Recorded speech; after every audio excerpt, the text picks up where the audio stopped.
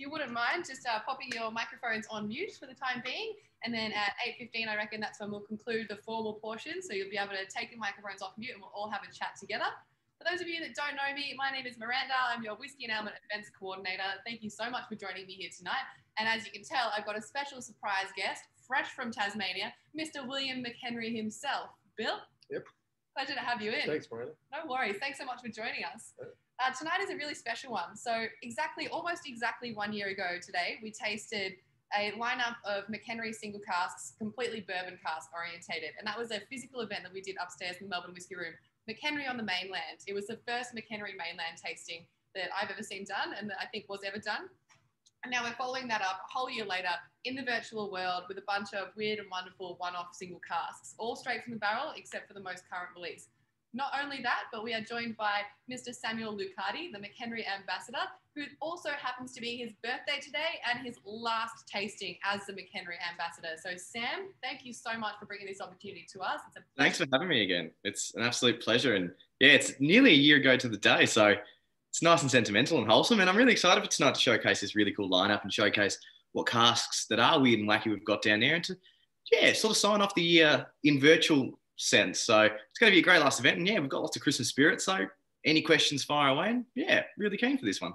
Took the words right out of my mouth. Any questions, just fire away, pop them in the comment section down below. Uh, get yourself some water if you haven't already, because as I said before, all of these but one are straight from the cask. So we've got a whopping lineup tonight. And yeah, feel free to crack into your Daylesford cider at any point you wish. I've already got into mine. Have you, have you started on yours? there we go. Perfect. Perfect. Uh, I could do the chat on that, but I'll let you. Tell us about the cider first, Sam. Yes, so Whiskey Man Sam is now becoming a Cider Man Sam. So that's sort of the gig I'm transitioning into at the moment. So Daylesford Cider, we're a heritage cidery. So what we're doing here is we've got Sweet Coppin apples. And the reason we actually chose this one is because it's going to hold up to that higher ABV. So we could have gone for a dry style, but they're quite high in booze themselves. So we didn't sort of want to wash it out. So we've gone for the sweet, something really easy to drink, something a bit fun, nice and summery. And yeah, proper paddock to bottle cidery. Everything that we grow, we make on site in the cidery. And it's been cool to sort of work in production over the last few weeks. So I think Claire and Mackie should be on later. So we'll say hello to them. And yeah, that's probably enough cider talk. We're all here to drink whiskey tonight. So that's good. And our other special guest has arrived now, so it's exciting. Please introduce. Yes, so uh, Elise Cleary, the distillery extraordinaire. I'm going to you introduce yourself and hope you hope you're well.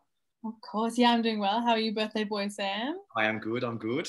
Um, I'm Elise Cleary. I'm one of the distillers and long-time employees of McHenry Distillery. Um, I've been there for about six years now, and I'm also a neuroscientist on the side. Um, and yeah, it's a pretty good gig. I absolutely love it there. And I love um, what I'm, the whiskey, which I'm really passionate about. And I'm excited to be tasting some with you tonight. And these are all ones that Sam, um, Bill, and I have handpicked. And yeah, really happy that you'll be enjoying these uh, with us. Yeah, well said. And yeah, these, is, I can't take any credit for picking these. This is all Elise. So oh, I basically sent her the message and said, Can you pick us some weird and wacky casks? and her and B2 went into the Bond stores. All few of, I think we've got three of them now down there. And yeah, we've picked out some pretty cool casks to showcase for tonight. Yeah, so hand pipetted um, all of these myself. So it was quite an effort actually, but it was really good fun. Can I, can I, I'm like the uh, interpreter uh, next to the Premier when he makes announcements. B2. So we've got two bills out of the distillery, B1, and we've got another bill there, so he gets the nickname B2. So that's who Elise was referring to, B2. Oh, yeah, so sorry. Yes, the B1, B, B1, B2, we've got two used to saying oh. it. We talk about all the time, so it just comes out without us thinking. I even let that go. I was like, B1 and B2, I know who they are. Yeah. I've been here for too long, Bill. I've been here for too long. so actually, just just just on that, we actually recruited. I think Elise was our oldest uh, oldest recruit and, and still our youngest. I think she started working for us when she was 15. You're kidding. No, yeah. I was very underage. I was 15 when I started working um, at the distillery. Don't know how how they'll let that by, but you're, yeah. one of the rarest rarest people on earth at 25 getting a long service leave. Yeah. and 10 years in this industry under your belt already. That's amazing. Thank you. Thank you what a lineup of people and a lineup of whiskeys we've got here tonight. So a personal thank you from Whisky and Alement for all of you guys for being able to join us tonight, to, to guest presenters and uh, special guests alike. I reckon we don't faff around any longer and dive into the worst first whiskey. Sorry, what do you think, Sam? Absolutely. I think, yeah, that's enough of us rambling. Let's get to the reason why we're here to drink some whiskey and share some stories. So, sure. I think we're going to, yeah, we're going to start, we're not going to start with number one tonight. We're actually going to start with number five. So, we're going to start with our, our core release and then go from one through to four. So, we're going to start with the lowest ABV and then get into the cask strength stuff from there. So, grab number five, have a bit of a smell. And yeah, feel free to write any taste.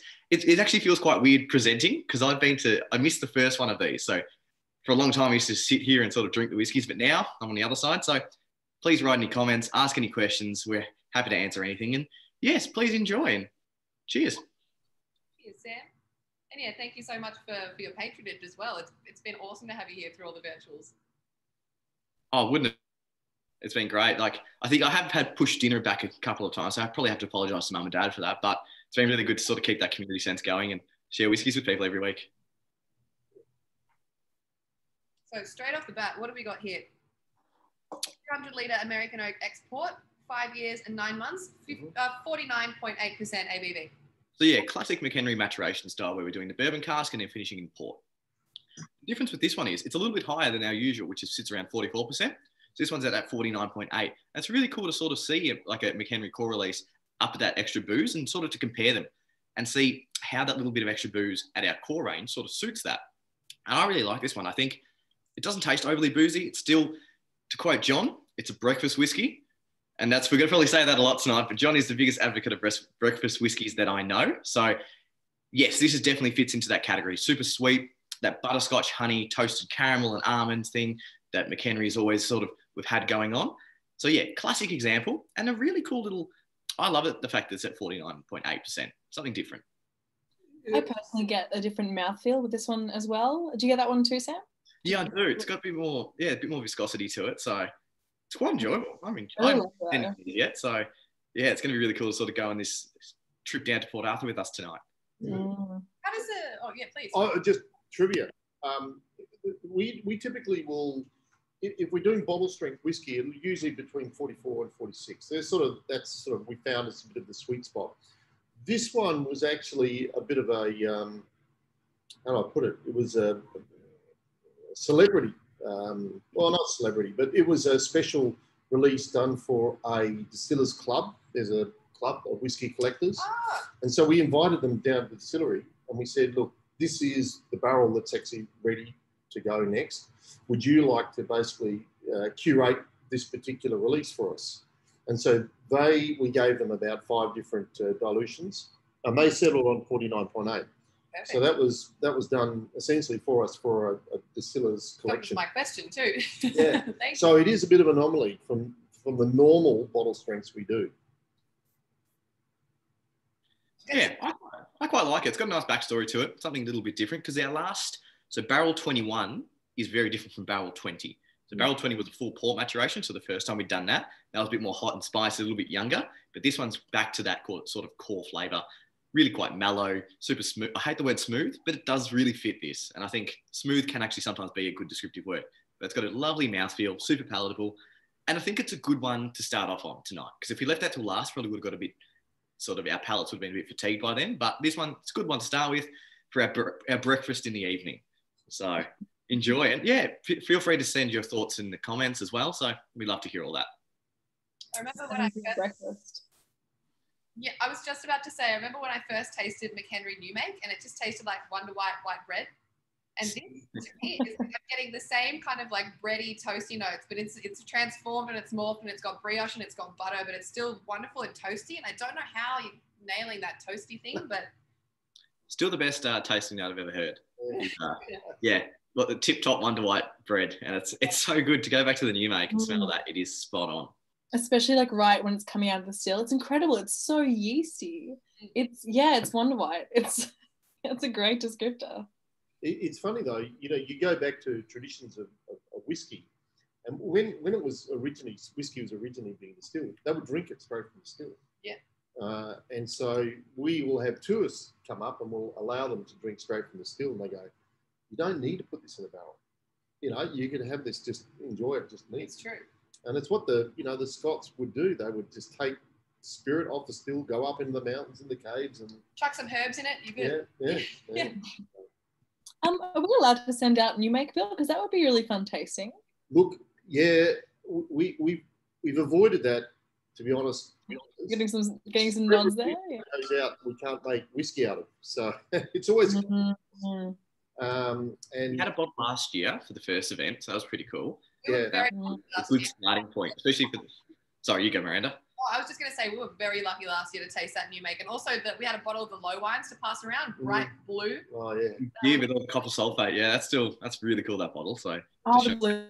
Yeah, these Yeah. amazing colours out of them. They're gorgeous, aren't they? and I think that's something you don't really see a lot is the actual production, like how much copper sulfate does come out of your low wine. So I think that was a really cool little visual prop to show just because a lot of time all you drink is new make, but you're never thinking about the low wine. So I really like that little little experiment there. Mm. makes us funny though because it makes us cringe. Yeah. Every, every every blue you see in there means we're dissolving our still. So that's Oh. all coming straight out of the copper in the still. It's like when you go to the to the rickhouses, or sorry, the bond stores in Scotland, and you go, it smells so good in here, and they're like, that's my whiskey in the air that you're smelling. Yeah, that's right. Yeah. Hmm. New make is interesting. I have quite a collection of that Tasmanian new build, new building. Ah, have you got any? Have you got any McHenry new make in there? Can you confirm the one white tip top? I don't reckon he has. I don't I don't reckon he's got that one. Mhm. White whale. He does it. There you go. That's the, that's your white whale. White bread, white whale. I like it. It's just porridge in a dram, says John. I'd have to agree. It is Mm. really a breakfast whiskey. Mm, such a great descriptor, porridge in a dram. It Yeah. is. That's a, that's. See, I don't. Sometimes I don't even actually need to write tasting notes because I just like do a tasting and John's there and he's got it straight away. It's awesome. It's that great. It's that vision. It's that feedback straight away. I love it. John's a big fan, so shout out to you. Mm, so good. So Yeah, it's really cool. So if we want to move on to sort of more of the cask strength stuff, because that's going to be a bit more different.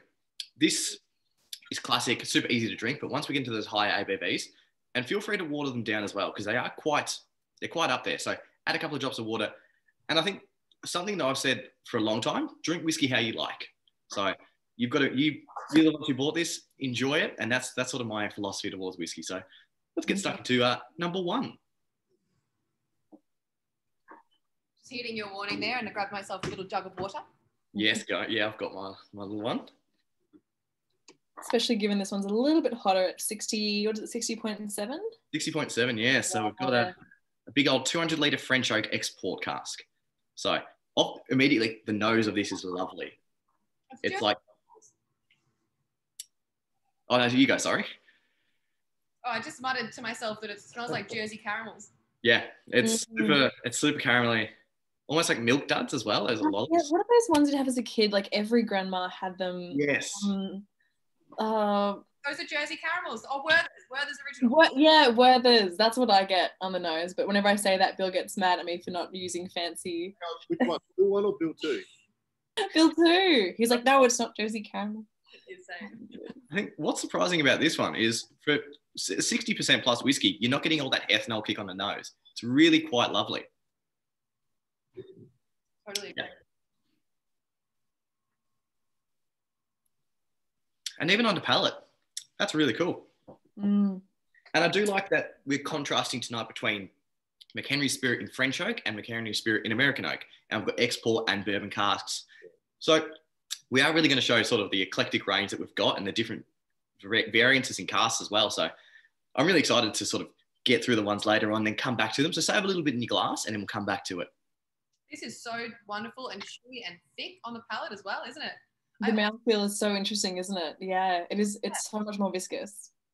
I feel like uh, a lot of us here are already very well acquainted with McHenry as well. But while we're here on our first dram, for those of you that don't know McHenry, Sam, why don't you give us a, the intro to McHenry? Yes, so uh, we are Tasmania's and Australia's southernmost whiskey producing distillery. So located down in Port Arthur, Tasmania, probably one of the most stunning distilleries I've been to, not only in Australia but the world. We look out, right, we've got stunning views from the the property's massive. So we've got the cellar door down the bottom, the distillery halfway up the mountain, all our bond stores and vaults and all other goodies, and accommodation now down the bottom. And up the top, we've got accommodation and we've got our gin lab and stunning views. I think goes right down to Hobart on a good day when it's nice and clear as well. Oh, for sure, easily. And it's lovely because at night it's it sounds so cliche, but the stars are stunning down there. Like you look up at the sky and it's just beautiful. So it's a very lovely place in the world. Bill was just uh, telling me that you guys have some new accommodation there as well. What were you going to say? Yeah, no, we, we've got um, we've got two old cabins, the Bothy, and you if you have a look at our website, I think we featured one of the Bothys on our website. Two brand new eco eco uh, cabins we put in there, which we're just finalising. And on on this is this is this is not um, staged at all, but on the back of what Sam said about the uh, the night sky, we've actually putting in a uh, ten thousand dollar uh, telescope over the next couple of months. Oh, And so that will actually be housed in an old wheat silo, which Oh, we're going to build up the top of the mountain. And so people can come and, and really experience a dark sky. Um, the problem we have in Australia, the big cities, is Mm, with, There's really no light pollution here. there we are, there's there we go. I'll share that screen. Yep. Uh, Sam spent a couple of nights up in there. It, it's cold in winter, but it's pretty lovely. it's, a, Uh, it's a little bit chilly. A bit of a breeze up there. Yeah. It's stunning to wake up to that view in the morning and just think, yeah, this is pretty awesome. So in the winter, we get a bit of snow. We'll light the fire though, a couple of drams. It's it's actually perfect. But yeah, we're putting a telescope in there. So uh, come February, you'll be able to basically do aurora spotting and and and uh, stargazing. Oh, wow. That'd be good because then you can drink our Southern Cross Series whiskies as well. So Yeah. shameless plug and marketing. you can drink our, our alpha and our, our beta and they're all the, the stars of the Southern Cross to be nice and patriotic as well. So The eco cabins up that way are gorgeous as well. So that there is the Bothy, which is um, the old accommodation that Bill used to stay in when he was um, establishing the distillery. But now we have slightly more modern, um, these beautiful eco cabins uh, on the same uh, plane as that one there, and the views from there are just stunning. It's a similar kind of landscape all the way to Hobart. It's just it's beautiful. If you're ever down that way, you should definitely check that one out. But yeah, what's everyone's thoughts on the whiskey as well? Because I think it's really it's really interesting this one. I'm loving, as, as Dom has echoed in the comments there, the mouthfeel on this one, the viscosity, as Elise said, and it- that, that original Jersey caramel and the mm. Werthers we were getting on the mm. nose is totally translated to the finish. This is a really well-rounded whiskey. For, for six years and five months, you wouldn't pick it. So I, I'm just looking at the, the the strength. Okay, so we fill all our barrels at 63.5 on the nose.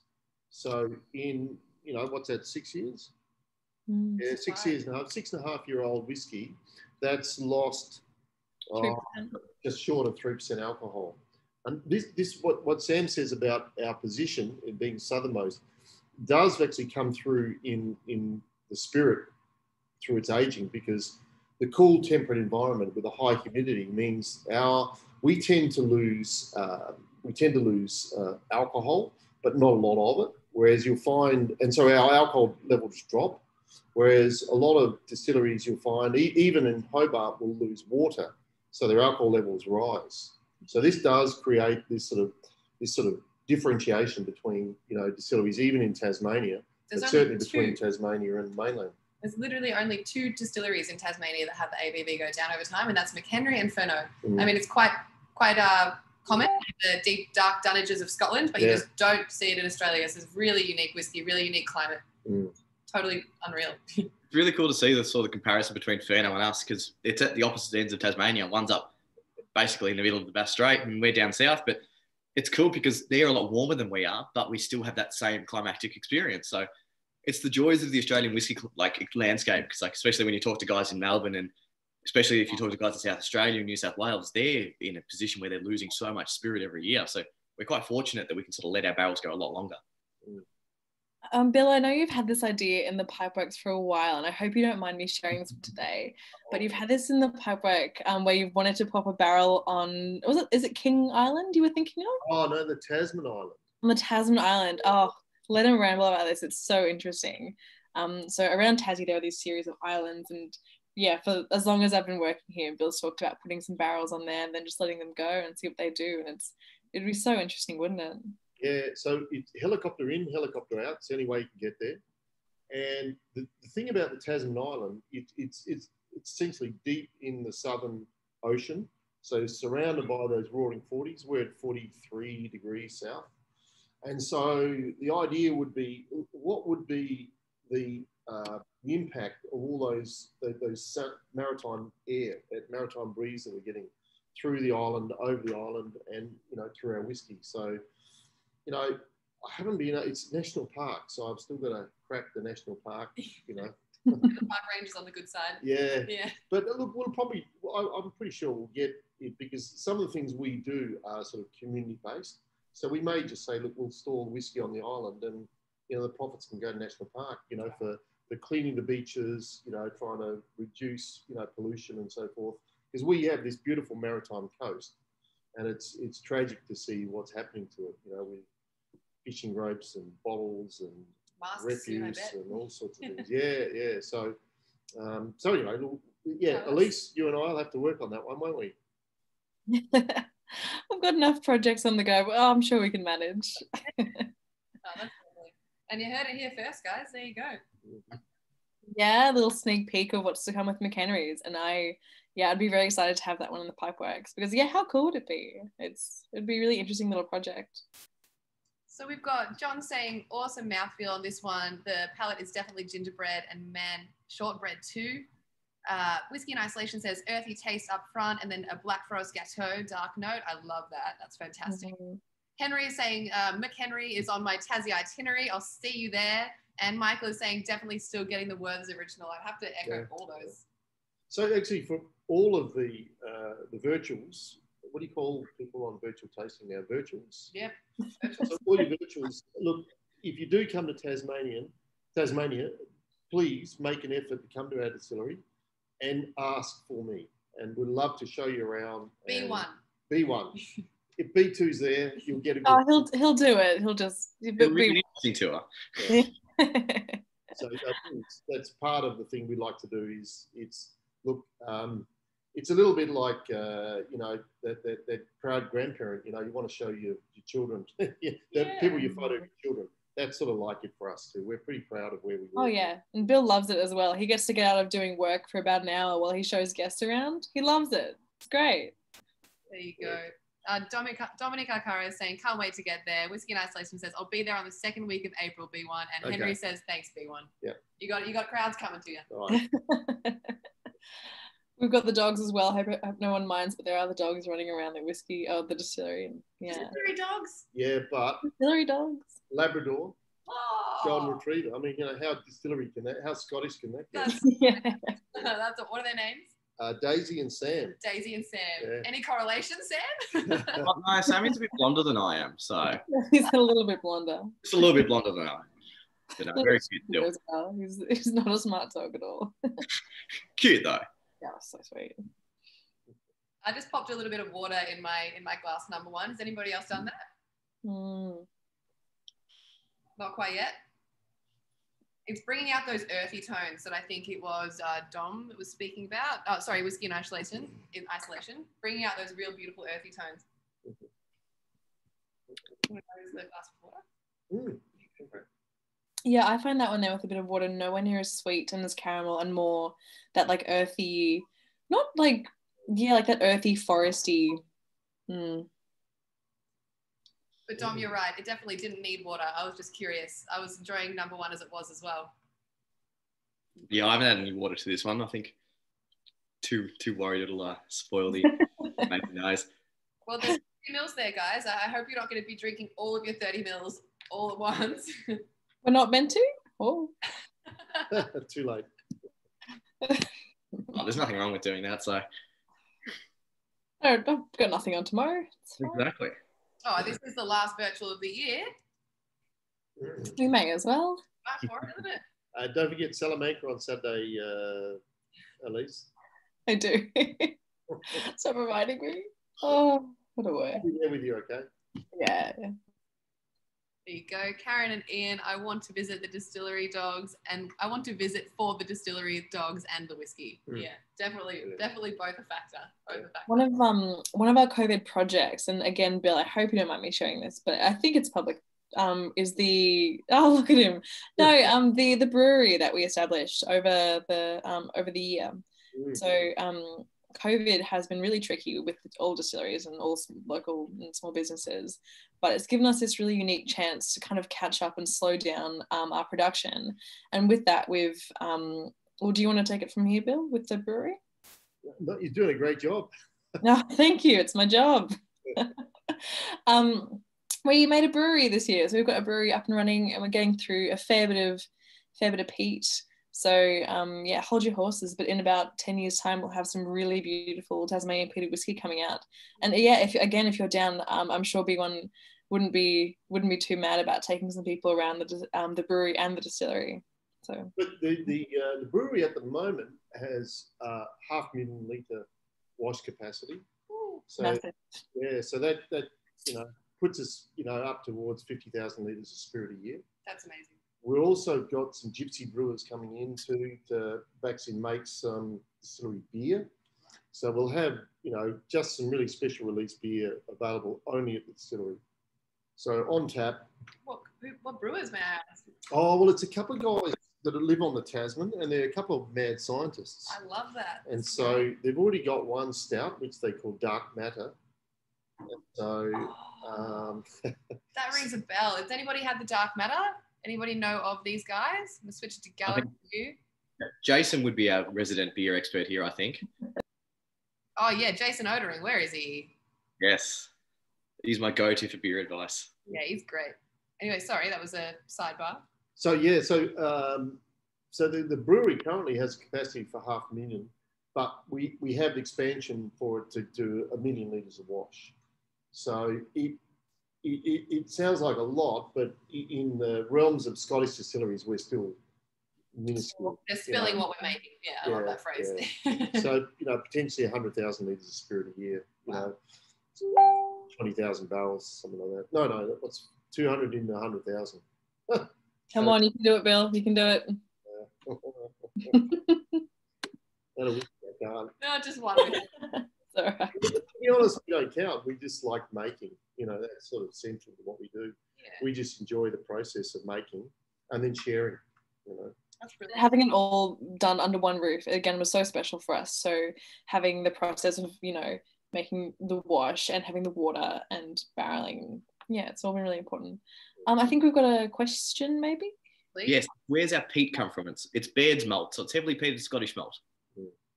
So Portgordon is the uh, the, the peat work, the, the, the malting works, we're taking the barley off at the moment.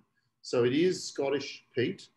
Um, and we do have plans. We're sort of trying to find a, a nice uh, Tasmanian peat bog to start harvesting our own local peat.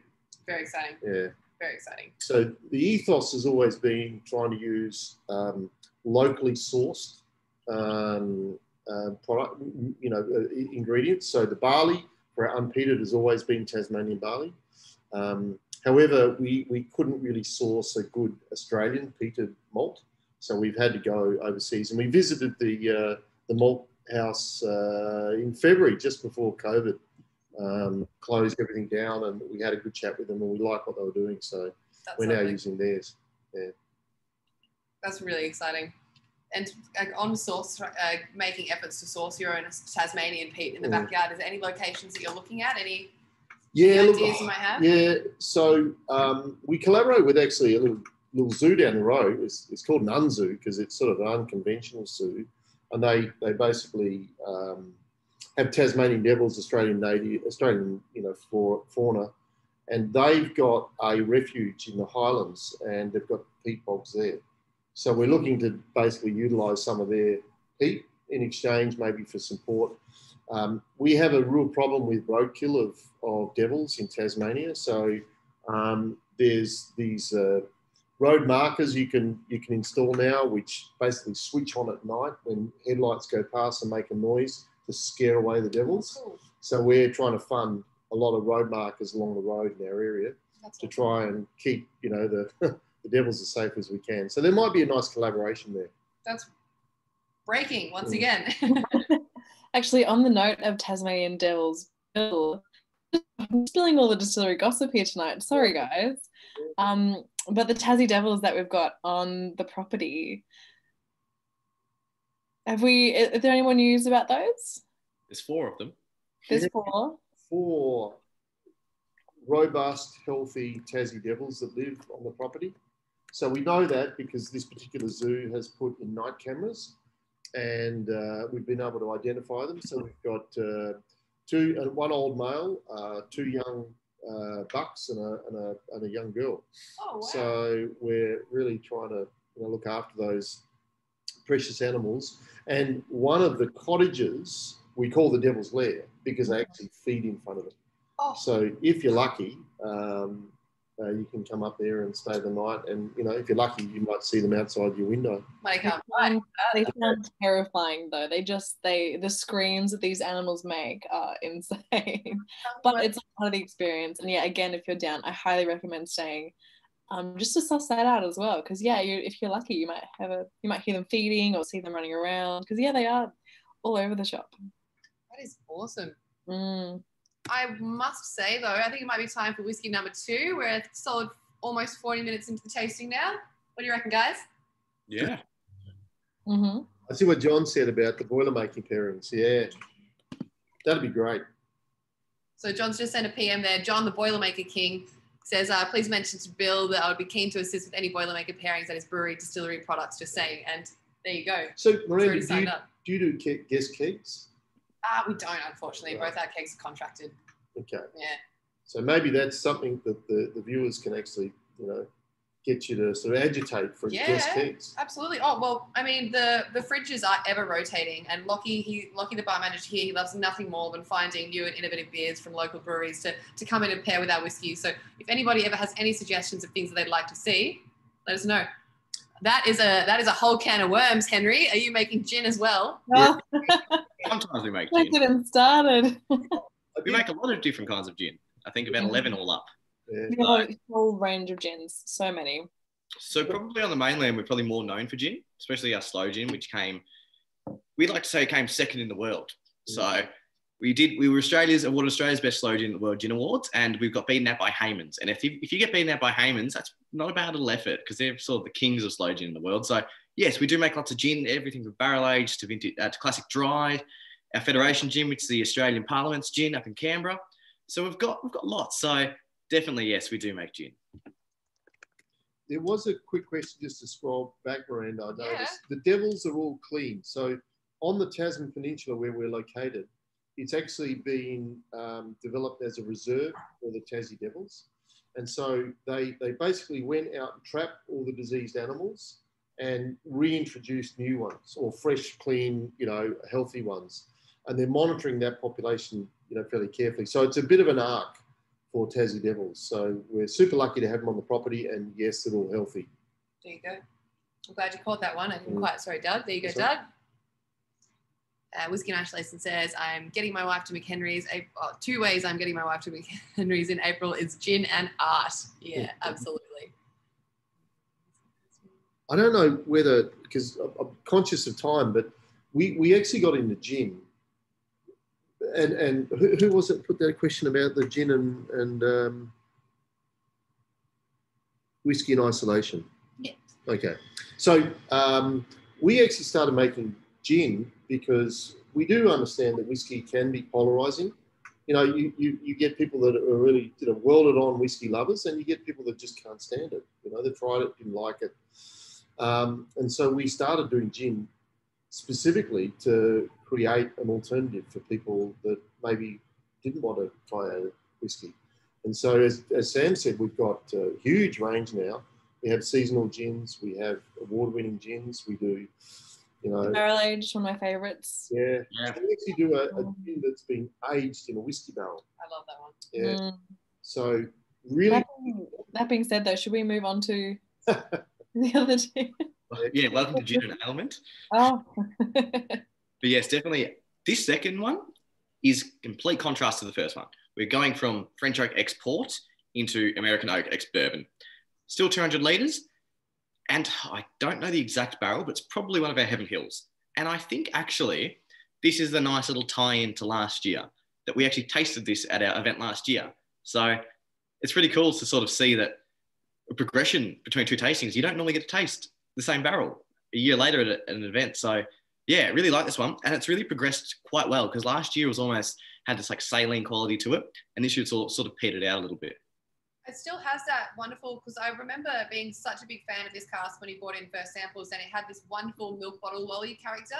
That yeah, like creamy, like I don't know how to describe it other than milk bottle lollies and creamy and wonderful. And it still has that on the nose, but I feel like it's now I'm getting marshmallow coconut. It sounds like just more like more of the American oak influence, obviously, but it's not just like vanilla in staves and it's not just like wood spice at all. It's actually all come together really nicely. Mm-hmm.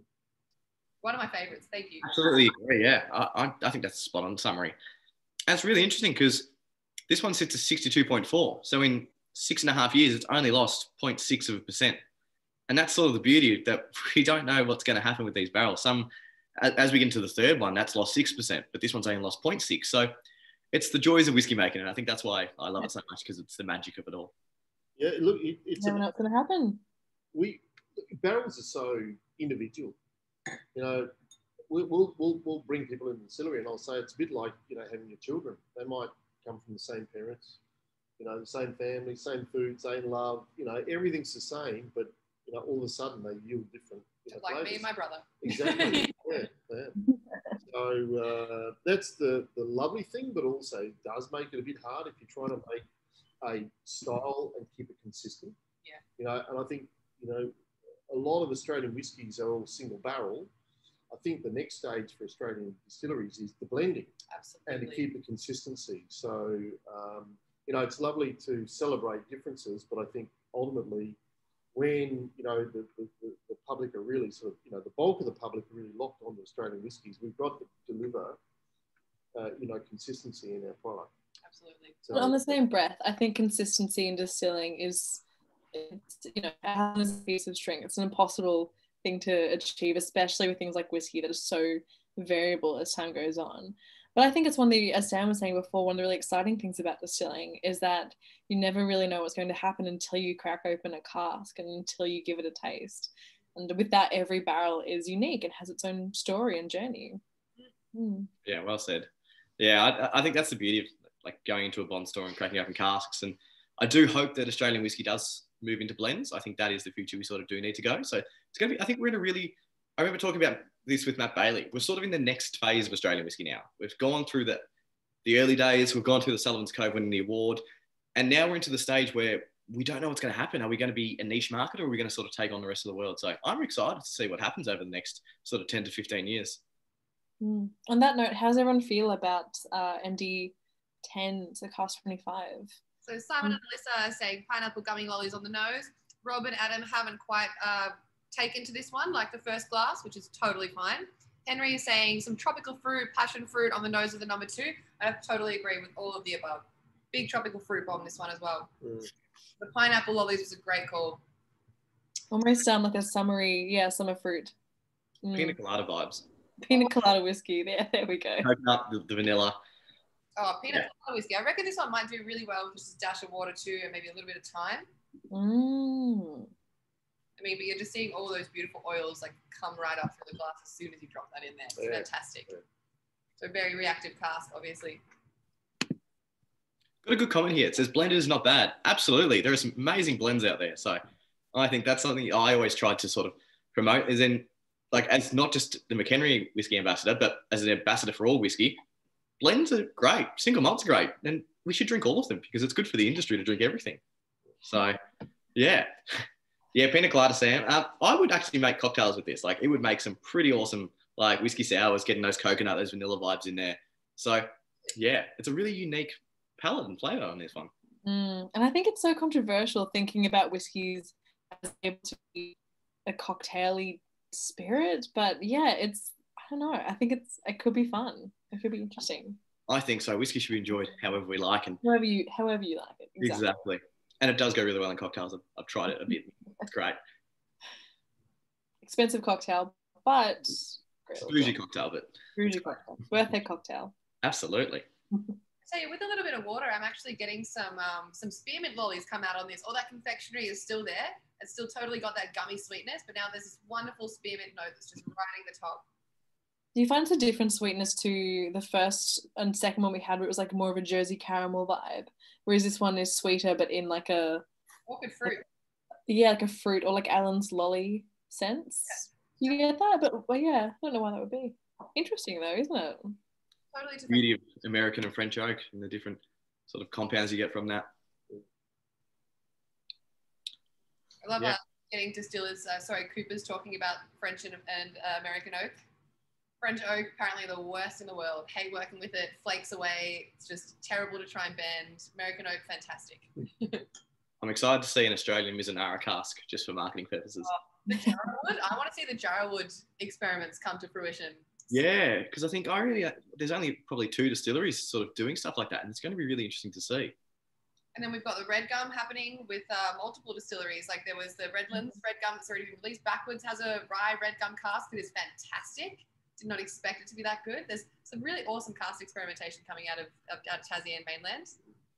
I think yeah, Applewood had Yeah, their that's nice. famous one that was native, so I think that could be the another part of the next Australian whiskey phase is native woods.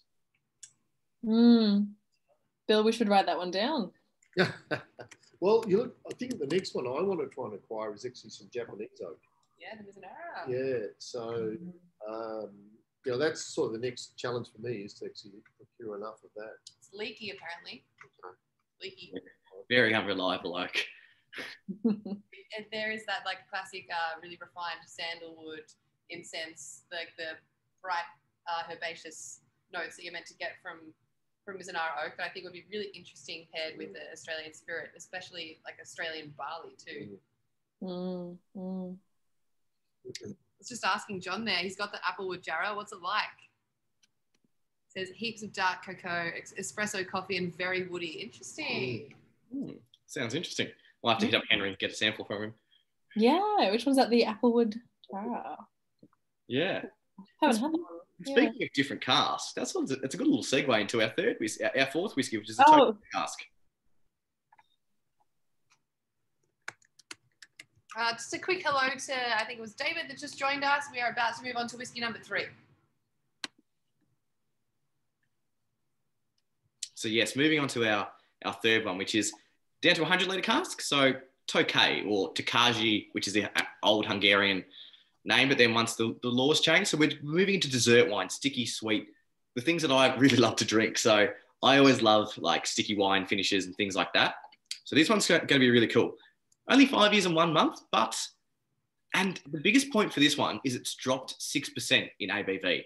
So it's going to be really interesting to see how this one sort of does hold up if we need to add any water or if we don't. So have a bit of a taste. Yes, so number three, but the fourth whiskey.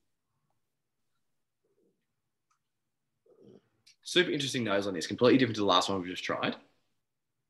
It's going to have a bit of a wee taste.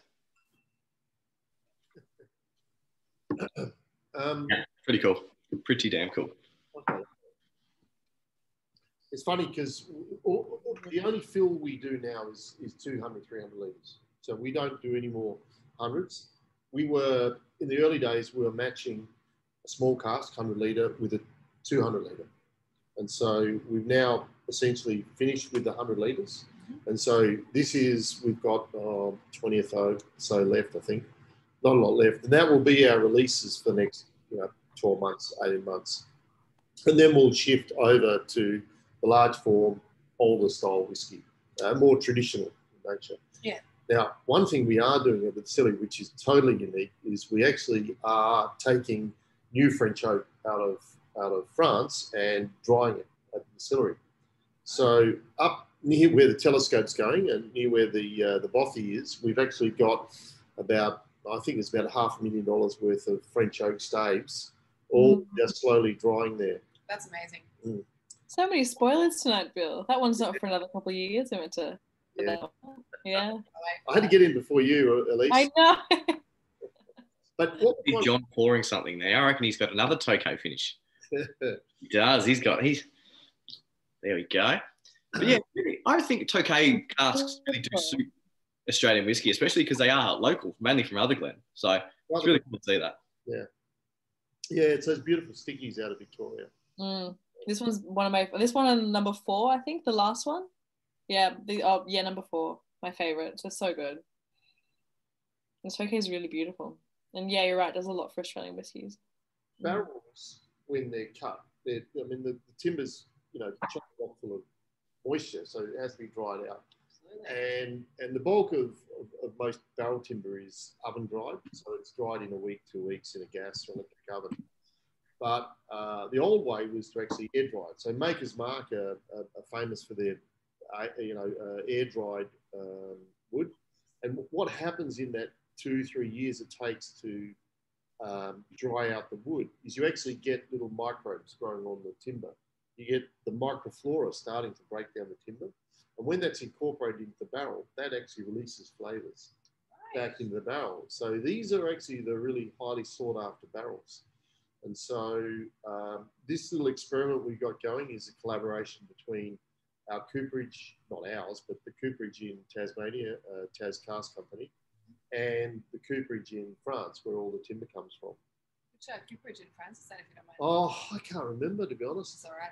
Minor detail. Yeah, oh, oh, I can't remember. I was going to say that. That's really special. And and you know what? The wonderful thing about this is that a lot of the timber that is up at our distillery would have been plants, planted trees that are planted around the time of Napoleon in the 1820s, 1830s. So you know, there's real history in this wood. You don't think about it, but these trees are sometimes 230, 220 years old. That's really There's, brilliant. you know, it, it connects you back to things that were happening that you only read about in history books. Yeah, Mm. this is true. Mm. One of the one of the best whiskies that I've ever tasted was that that backwoods red gum rye cask that I was talking about before. And the red gum rye that that barrel was made from used to be a fence, and it was fen- fence posts that had been sitting out in the conditions for 60 years. Mm. And that's the reason that that wood was so fantastic, and it Mm. wasn't just smack with the red gum character. It was just beautifully refined. Like there is something to be said about the way that the staves are dried and, and how long they're out there as well. It's, it's something that's not spoken about enough, I think. Oh, for sure. And like as you were saying, this, you know, enormous amount of wood that we have really out in the open. So it's exposed to the elements. It gets the sea breeze, it gets the salt, um, it sees the sun, it sees the rain, the cold. It'll be really interesting to see what comes with those barrels. And yeah, again, more things down the line that we're very excited and very proud about as well. So Great example of that terroir word, which I love to whip out at every tasting. But it is because it is incorporating all the elements of what is going down in Port Arthur. mm, There was a good question, I think, from Doug where the winery was coming from. Probably Morris. That's probably the. Yeah. I Yeah, remember seeing a few Morris casts down there, and that's probably the best bet of it, where that did come from. Yep. And Morris Tokay is lovely. It's it's really quite cheap as well, and it's just it's awesome. I think yeah, Miranda knows I like like sticky ports, and I cracked into the Paraport today, so that was pretty awesome. Definitely. And there we go, Elise. Uh, don't worry, Whiskey and, Isolation, Whiskey and Isolation says that they're going to forget everything after 150 mils. oh, good. You better. Oh. no, it's all fine. That being said, though, definitely come down to the distillery, the accommodation, the stars, the um, the telescope that Bill's going on. Yeah, it's, it's very, it's a very special little place. Um, yeah, Sam, when was the last? Yeah, you've you've been down several times, Sam. Oh, I went to in January last, so that was pretty cool. Yeah. Yep. I was there when the Gin Awards were on, so that was that's the last time I was able to get down, sadly. But Mm, yeah, it's pretty awesome. It's always a special place to go down and visit, and I think that's sort of the reason why I sort of I do what I do and sort of pursue my passion in the alcohol industry because it, the sales and everything is fun, but it's actually being at the distillery amongst everything that's what sort of gives you that love, and it's always yeah, it's always going to hold a special place for me. So yeah, love distilleries and all that. So yeah, uh, Mm. Oh, for sure, for sure. And hey, now now that we can fly everywhere again, hopefully have you down sometime soon. oh February, Louis Mm. Duck sent me a message the other day, so we're hitting up Goldbar release. Oh, beautiful. I'll see you then. Exactly. I like this comment from our Simon and Alyssa. Terroir is French, is French for marketing. Yes, but I actually do quite. I think it does play a little bit of part. So, but definitely as, as from the marketing perspective, terroir is a it's a good term to sort of say. We're getting some great tasting notes here coming in from Simon and Lisa. We've got honey and wax for us, almost manuka. Similar notes to the old Kempton Tokay release, uh, Michael says. And I just want to echo the, the, the smack in the face of butter that uh, Michael here says. Oh, wait, no, sorry. I'm sorry, I can't find the comment. But on like the exhale and doing these ones, it is all burnt butter popcorn for me. Burnt Mm. butter popcorn through and through. Like wonderful, Mm. beautiful, grainy backbone, all that buttery goodness, and a lot of sweetness. So this prop might be my favorite so far. Oh, wait to the last one. Number four. It's my favorite. Yeah. Mm, I'm ready mhm. I like your comment there, John. And you biased about Hobart whiskey? Never. I would never have picked that. I am. I personally, it'd be interesting to see if you get um Mirinda the um you know like cultured butter how it's got like that weird kind of like funky like it's still butter but Yes, it's got that almost um like fermented taste. absolutely. Mm, Feel mm, with it. Mm. I love it. Butter menthol's a really one. That's a really good one. Mmm, butter menthol. Has that nice residual spice. Mm. I'd love to say it's from the eucalypt surrounding the property, but that's that's just probably marketing.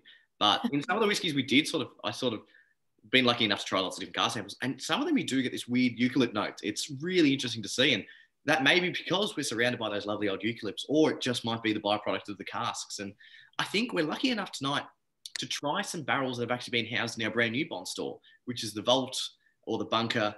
We've got lots of different names for it, but in that environment, they sort of develop this weird sort of wine yeast around the sort of it's basically that wine mold around the bunghole.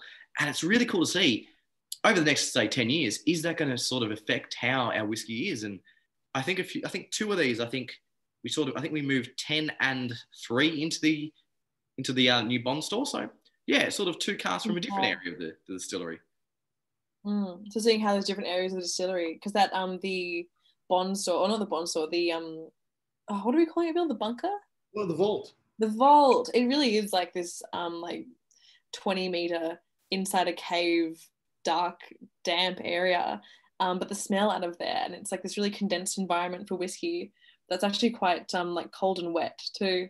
So yeah, it'll be interesting to see what comes out of there in a couple of years' time. It's going to be interesting to see how the different, basically, we've got three bond stores now, and if it's going to take on those different characteristics of like the old Scottish ones. And like last night, how we are talking about like the difference between like Van Winkle and uh, W.L. Weller. Is it going to make a difference? Are we going to have like our, our McHenry Distillery Reserve from the bunker, and then we've got our normal bond store? So it's an exciting time to see how those those barrels will mature. Mm. So Even um, oh sorry, Bill, you go. I'm trying to see if I've got a photo of the vault, but I can't find one.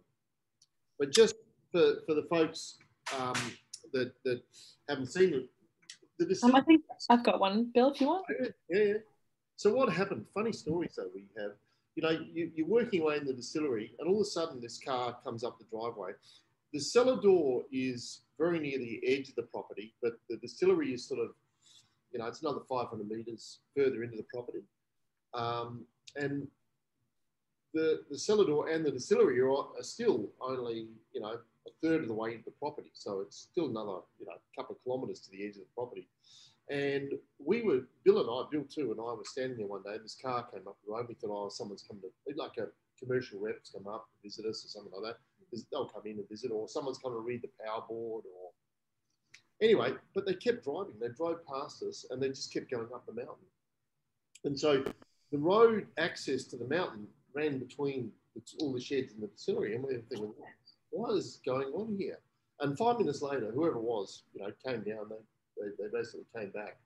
They said, we said, you know, can we help you? And they go, oh, well, I was following the Google pin to try and find the distillery. And of course, the Google pin is Oh. set in the middle of the property. Yeah. So they drove past the cellar door, past the distillery, up to the top of the mountain, oh goodness. found themselves in the middle of nowhere and turned around and came back.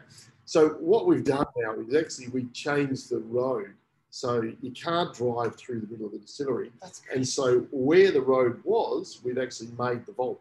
So we've dug into the mountain and we've created this big bunker That's cool. to then sort of slowly age. And what what we do there is we do VIP tasting. So you can come into the vault surrounded by all of our best whiskey and then just sit down there and just, you know, enjoy, you know, the selection of, of, of drams we've got there.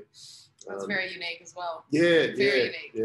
Uh, so we've got a question here for you. Mm. So Henry is just wondering, any plans for using Tunny wine casks B1 or have, or have you already? I'm a VIP. so- Yeah, so we have.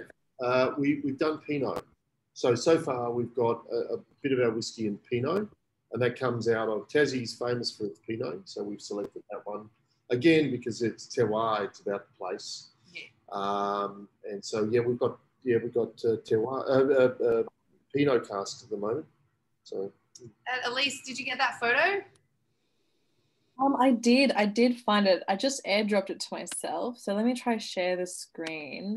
Um, this is just a photo I took for Sam. It's not that. It's not like a proper like distillery photo. Oh, I love Um, but you get a bit of an idea of how small the space is.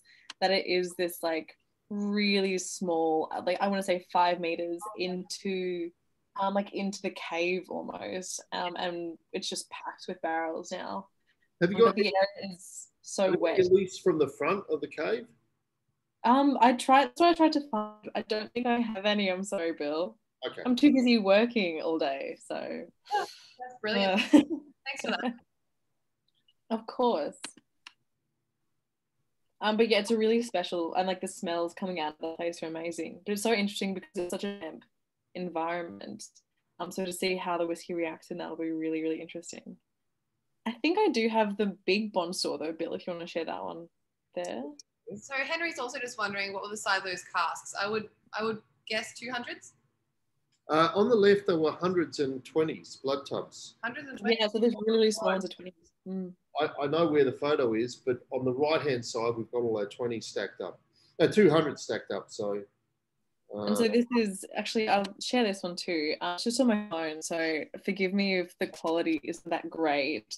But this was the day of collecting the whiskey for Sam. We were madly chatting on the phone, deciding which whiskies and how, like, yeah, which ones we should taste.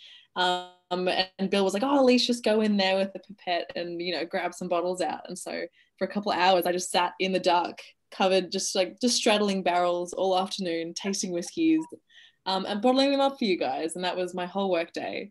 So yeah, a good idea of the mold, Sam, was or not the mold, the um, what were you talking about, Sam, around the Yeah, it's a kind of yeast. It's a wine yeast. Uh, Typically, typically that's a wild.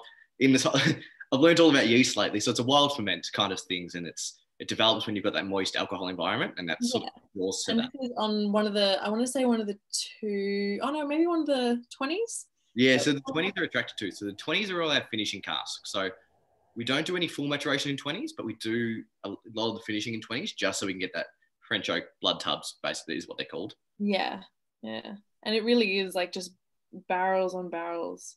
The, the just there's so many. There's just so many. It really is an experience. Yeah, it's interesting to sort of go into the bond store and see the different variety of casks. We've got everything from weird and wacky Hill Rock distillery ones where they've got this weird honeycomb etched interior, and then you've got the nice big old Heaven Hills and your your French oak wine casks, and yeah, it's really cool. Like they Pinot the Pinot Noir casks, they're French oak as well, so they're these lovely massive. They're, they're listed as 200 liters, but they're like 235, so it's really cool to see. And whenever Bill, whenever Bill needs something special, he sends me and I just like I crawl I just crawl around the the bond store like all the way up to the back and just have to climb over barrels and I mean, HNS. yeah, yeah it's very OHS but oh it's fine You do it do it for the job um any last uh, thoughts on this was here here? So just had a photo sent through by David. That's lovely. David, if you Oh. want to take yourself off mute, feel free to tell us about that. That's at the cellar door. I will go ahead and screen share if you don't mind. I'm going to embarrass you. Doesn't that look lovely? beautiful Very cute. that's in front of our cellar door yes Yeah, we uh, I took myself off mute. Sorry, I'm just still getting ready from hockey. But uh, yeah, I there with my wife and our friends from the UK last year, and uh, we did what you said earlier. We went up the dirt road and kept going past the dirt road. Then we found our way back down, and uh, there was a young guy who came and opened it up for us. And while he was doing stuff, we also got to organise some food by the little pond you had out the back. Oh, right. Gee, that- Mm. So that was 12 months ago, I want to say. Yeah, last December. Yeah, so we wouldn't have, we wouldn't have even had the again. It's completely changed again. The distillery is this ever evolving beast. Um, so now up that dirt road that you drove up is now a yeah is now the um the brewery and some accommodation as well, which is pretty nice. And my brother, my dad, and myself are coming down there in January from the 7th to the 17th. So we're going to come down and we may uh, try to organise a, it's got the a rest. visit of tastings. See the broth. Um, Bill, if it's all right with you, do you mind if I could I could chuck the distillery accommodation link uh, in the chat? so People could have a look at that one. So that Yep. That last Yeah, photo, No we- Oh, beautiful. Yeah, yeah, yeah. That's so that's the that's the old bond shed. Mm-hmm. What about that one? People see that. Yep, they can now. So have a look over over who's the blonde guy? Have a look at his right Girl. shoulder. Girl, is it? Oh, Girl, no. That's the one. girl. Oh, whoopsie daisy. yeah. Sorry, I'm I'm seeing a, a, a chopped off. There's we're also starting a we're um, we're starting collaboration with Elon Musk.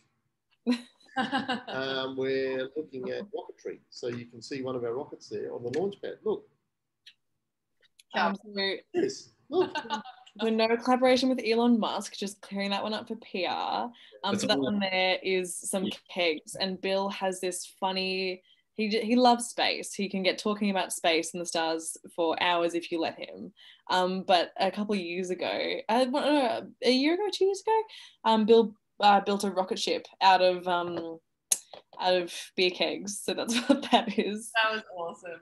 And I won't be getting to space anytime soon, unfortunately. Elon Musk is not involved in that one there, but So just to circle back to the Oh, comments that's, really um, quickly, we've Yeah. had a couple of questions come in about casting. So B1, you've gone for the 200 litre cask as standard, but would you ever do small casks to allow for at least to experiment, even if it's for private distillery only release? And then we've also had Henry has asked, uh, have you got plans for rum casks from Queensland? Okay, so no rum casks so far. Okay, we're doing brandy casks at the moment. Awesome. So we've got some brandy casks out of uh, St Agnes in um, in the, the Riverland.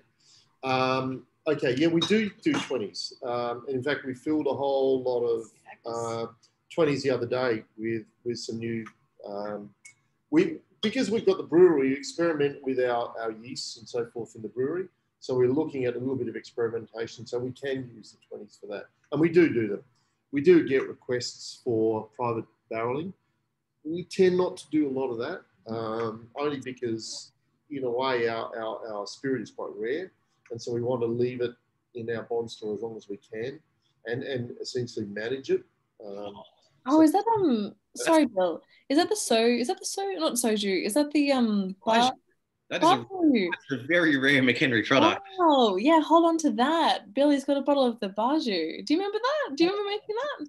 Is this someone in the in Oh, the Dennis has got a Dennis. photo of it Um, there. so Dennis had photos of the wood, very special, and the Baijiu, which was that red, smoky. Um, do you remember that one, Bill? Chinese sorghum spirits it is. yeah Probably probably one of the uh, most, I'm going to use the word interesting products we've ever made. Mm, polarizing. It was very polarizing. Yes, very. We made two different kinds. We made a uh, smoked one, which tastes like bushfires, and the other one tastes like porridge. But worked really well in cocktails. It did. Put a bit of passion fruit through it, whip it up like that. It was pretty awesome. Mm. we actually, sadly, because um, you know when COVID hit, we actually redistilled that for hand sanitizer. Ah, So we've got Well, This was um. This was so long ago. So This was uh the baby. This was wow. Gosh, it looks so disorganized there. it's a lot more. It's a lot neater and cleaner now. I promise. Um, but yeah, hold on to those photos. They're very special. That's the distillery back when it was a little little baby distillery. Mm. right, guys. We've got some tasting notes coming out. Uh, caramel fudge on the palate from Henry. Which whiskey were you talking about there, Henry?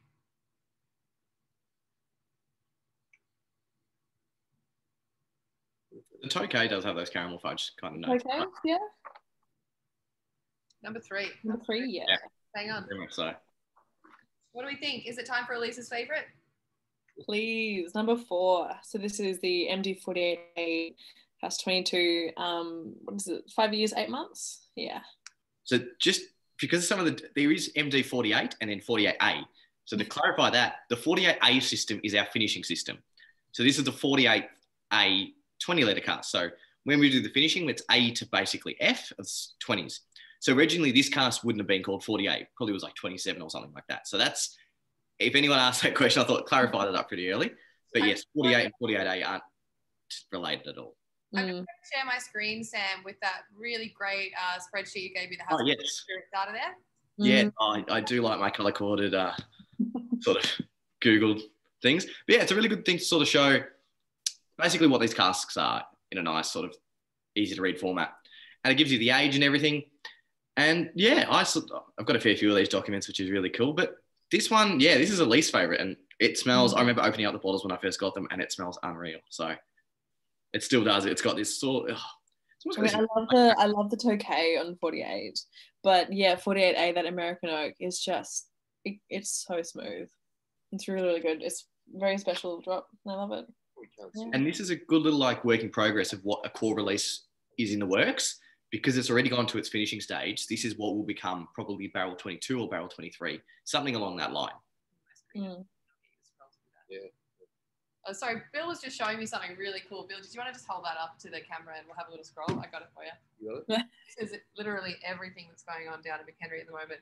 Oh, like the massive document? Yeah. So it's this um huge working Google Doc that's oh, I don't even know how long now. And it's every barrel and where the woods come from and what the percentage was going in and It's going as well. It just keeps going. I don't know if you can see Oh, that, but cool. it oh, it's yellow. That's why you can't see. yeah, can't it, see it just keeps going. It- It's pretty cool to see it gets neater and neater as it goes on, like barrel one to 10. Don't look at those. But as you get on, it gets a lot better. So, yeah, it's really cool. I think it's been a really cool showcase to sort of show what different work in progress we've got and yeah, to showcase the different types of wood and how they really do affect the McHenry spirit. And it's really cool because it does hold up to all those different spirits. The Pinot Noir, I think someone asked about the Pinot Noir cask before. They're probably the most hot and heavy. They're, they're, they taste like strawberries and raspberries, but they're super boozy and they're only about that two year old mark. So they're technically, they're legally whiskey, but they're still, they've got a long time to sort of, sort of mellow out and temper out, I think. I don't know if it's just me, but I'm getting like some really wonderful um, Asian flavors from this, like almost char siu pork. It's uh, it's got a like soy, honey, sesame, or, and, and then spicy character to it. That I it might be, I might be just going crazy, but Yeah. It would be great with cooking. Like you can make some awesome sauces out of this. it's Mm. different, and it's so different. It's so different to all the others.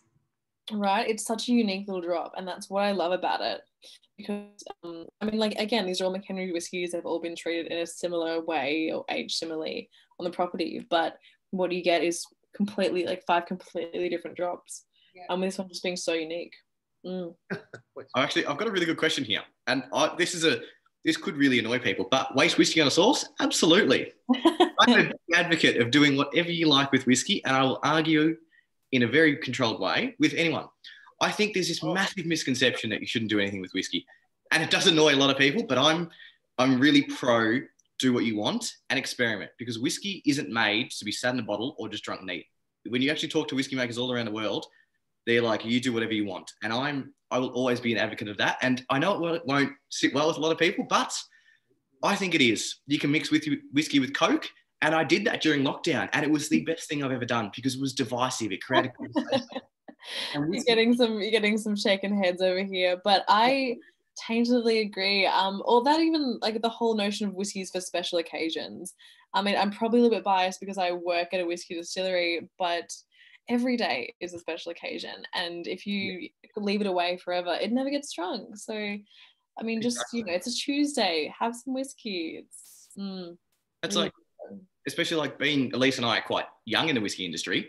mm, a lot of our generation don't want to drink whiskey neat. They're going to drink it in cocktails and highballs. With the, you see, I remember Dave Broom. We had a, re- a really cool movie night with him, and he said if Dave Broom is saying the future of whiskey is highballs, well, I'm going to trust him on that. So I think Miranda was at that event too. So yeah, I think whiskey should be drunk wherever you like. And I know it's not going to sit with everyone, but I definitely think look, there are certain whiskies that I would never mix, but at the same time, why not enjoy it? And if you buy it, you do what you want. Mm. Absolutely, mm. absolutely. Yeah, you're on the nail there, Sam. I mean, it's, Yeah. there's, you know, earned, worked hard, earned the money, bought a whiskey. Why, why are we to tell them how they should enjoy it? I know. Yeah. I think the only thing you should mix whiskey with is friends. Oh, Aw. Bill. That, that's sort of, it's a, lo- yeah, you know, we, we live in a sort of a, a, a we, we're, we're, there's more of us, but we're uh, more and more disconnected from each other. And so I think if whiskey can bring us back together again, yeah. that's even better. So, And you know what? On that sentiment, I think I'll actually say that we have just concluded the formal portion of the tasting. All of the whiskies have been tasted. All of the vital information is out there. We're going to spend the next half an hour just circling back to our previous drams. I'll be sticking around. Bill's not going anywhere. Elise and Sam are not going anywhere. So please feel free to take yourself off mute. Let's all just have a little catch up, shall we? This is the Q and A portion, shall we say? Mm, do we find uh, number four though? Um, yeah, I want to. Is my palette aligned with everyone else's, or yeah, what do we think of that one? I think we got some notes of. Let's have a look. There was some Chinese five spice in there, which I'm loving. Yeah, Chinese five spice is a really good way to put it. Like almost like molassesy as well. And the Mm. Chinese pork, I swear to God, it's like it, it smells like Hokkaido. Tastes like Or Hokkaido. like um, you know that like sticky, like that sticky caramel you get on some meats, like that sticky caramelly Chinese. What's that?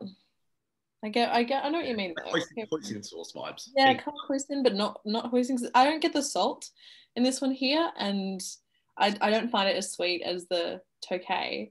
But I just really like. I just oh, I just really love it. It's just so interesting, and it's not. Yeah, I think I think of chasu, maybe. Char I siu. don't know. That's what I said. chasu siu pork. Oh, there we go. Mm, mm-hmm. I still, I'm, I personally can't get over number glass number one and glass number four. They're my, they're my picks of the evening. Yeah, number one's pretty epic. Yeah. Mm-hmm. it's just got it's very unique. It's it's even more it's more caramelly now. It's almost like burnt caramel. It's like uh-huh. butterscotch. Letting them breathe too is so interesting with whiskeys. You can come back to it a couple minutes later, and it's yeah, it changes. It's really cool. It's, it's totally science, isn't it? Mm. Oh. So Mm. I haven't mentioned at all yet the water. We must. We must talk about the water. oh, Bill and his waters. So yeah, so we're, we're pretty lucky at McHenry that we've got lots of our natural springs on the property, and it's great. So basically, all our all our water that we use for all distillery operations, everything from firefighting to making cups of tea to the distilling and brewing process itself, all comes from natural aquifers.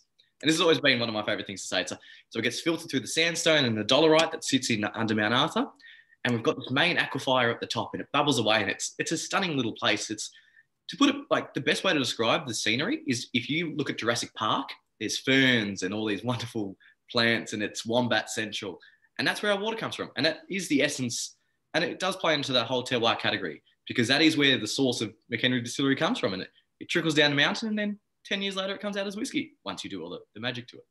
Yeah, it's exactly right. It's the it's the heart of the, the whiskey and everything we do. So Yeah, beautiful. So we've got a photo just coming up of the um, yeah, of the springs. Oh, there you go.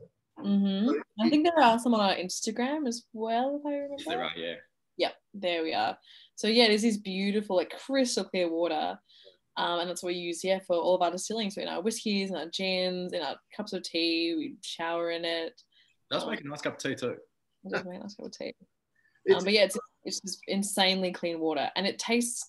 So you know, well, there's like the sayings of like hard water and soft water. So hard water is quite dense with like minerals and lots of like calcium, whereas soft water doesn't really have that. It has a different mouthfeel to hard water. Or like if you change like states or you change cities, you can usually notice a difference in the water, but you can't quite put your finger on what it is. Um, yeah, the water down is what we would describe as very very soft water. So it's just crazy clean it's the kind of thing you have and you just remember for your whole life. And I could ramble about water all day. I, I really think it's so interesting, but I think that's the science part of me coming out. But Fun distillery facts. It makes a nice spa bath too. yeah, we do have an on-site spa, uh, my very informal one, but my favorite thing is like when you look at like Ross Blaney, he talks about Balvenie and the runoff water and the ducks and it's all the heated pond.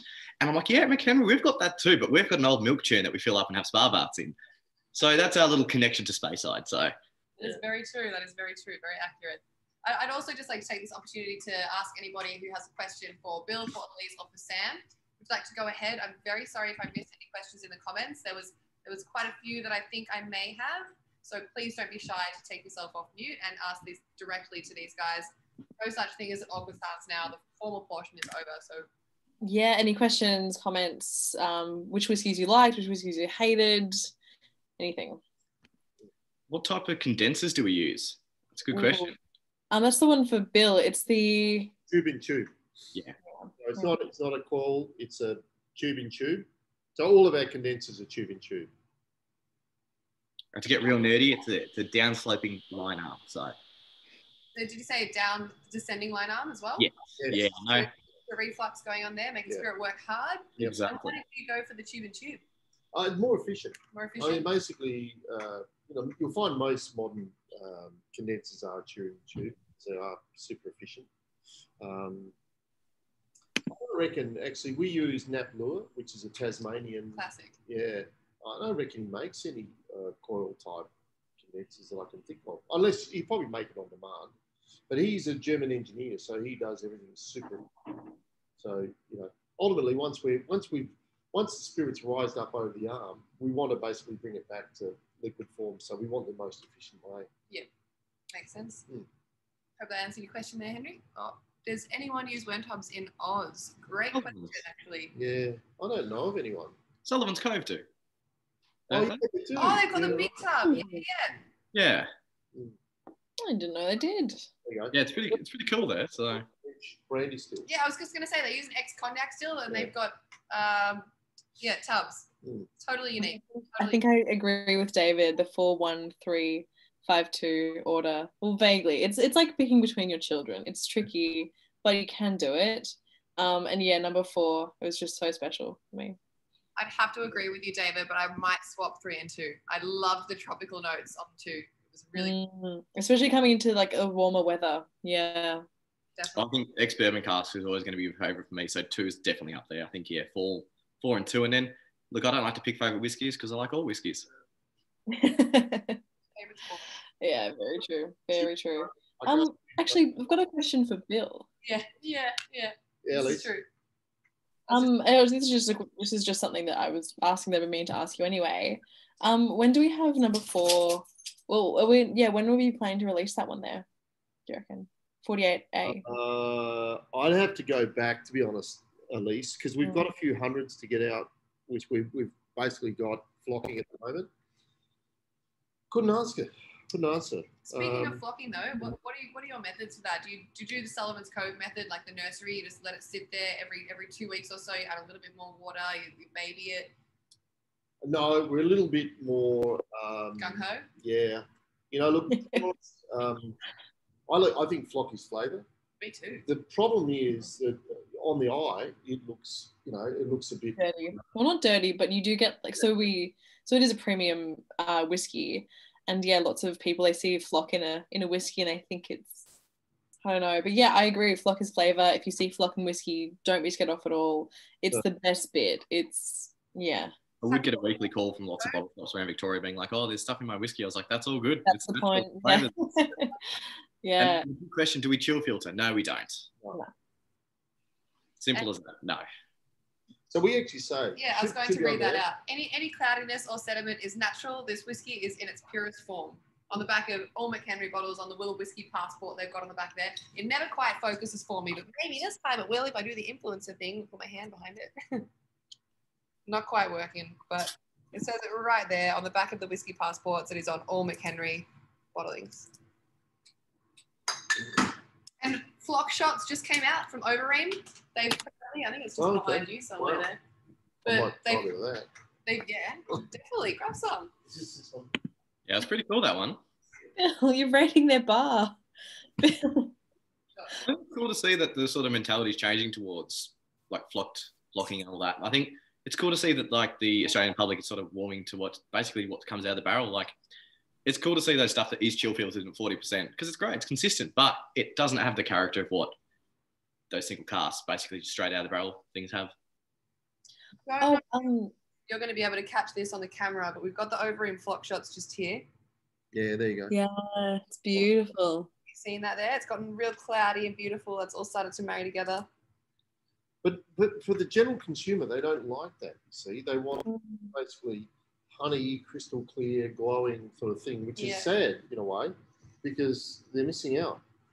Um, So it's uh, it's unfortunately just age old marketing. You know, if you see something on the shelf and this one's clear and this one's cloudy and this one's a different color, you're going to be like, oh, one's inferior and one's better than the other. You know, but but that's just not true at all.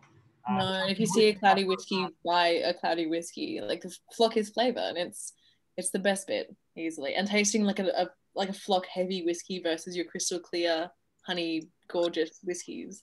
Yeah, there, there is a very obvious difference between the two. Things can change though. Like, um, I don't know if people drink a lot of beer. Obviously, I'm known for drinking a lot of beer, but um, hazy IPAs have become, you know, the the top top beer style, and they're hazy. Mhm. Um, They even have brewers um, not filtering their normal beers just so they're hazy because it's desired now, whereas in the past it was absolutely scorned. Mm, Really? Yeah, even like cider world. Like we, Cloudy, yeah, cloudy, yeah. I gave Miranda a taste last night. We just made a scrumpy and it is cloudy as anything. And it's great because we don't filter it. It's basically in its purest form. Tastes so much better with all the residual It does. and It's yeah, it's really got those yeast. it makes it makes in its purest form what alcohol is. And I think that's that's really cool. And it's so interesting how the attitude's changing though. It- But it's so great to see it change. People are appreciating brewery with first introduced cloudy ales. Oh, it's very cool. Didn't know that one there. But um, just the attitudes towards stuff in your drink. Mm. Yeah, we're seeing a real shift in the in the mindset these days, and it's actually so welcome and It's- so long overdue. So you were just about to Oh, say for something sure. about Coopers Oh, as well. well, Coop, Cooper's had a little marketing campaign So you, where you're they used to rolling. get roller, you know, to get the yeast up. And there's a really, I can't think what the brand is, but in France, there's a super popular, highly flocked whiskey, and it's now it's now sought after. Ah, So it, we do see this big shift happening, which it's is great. the, not the McKenna. I can't remember. I was there a couple of years ago and I saw it in whiskey. What's called um, House of Whiskey. Whiskey Taker, one of those. House of Whiskey. House of Whiskey. All right, yeah, yeah. And um, they Mm. had there, and they, they said, look, if you can produce more of this, uh, we'll take lots of it. You're living. Mm. Mm. So what do you think has paired the best with the sweet coppins today? Is anybody loving it with the cider? So I'm thinking glass number one straight away. We, we nailed it with the first one. I think glass number one as well. I think it does hold up, and yeah, because normally you wouldn't pair sweet drinks with whiskey, but I think this one does really quite hold up because it does have that beautiful zestiness and it's quite spritzy and carbonated. And it's a good palate cleanser as well between whiskies. Oh, for sure. its its sweetness was very much coming from the fruit, not not a sugary artificial sweetness, which was would normally put me off a lot of sweet ciders, though. Yeah, And that's sort of dry ciders, but it's the beauty of using 100% pressed apples instead of using that rectified apple juice that most Australian cideries do use. So, and it is the it's the joys of using heritage apples. It's a, it's a beautiful blend of sweet coppin, Kingston blacks. is that CO two carbonated on bottling?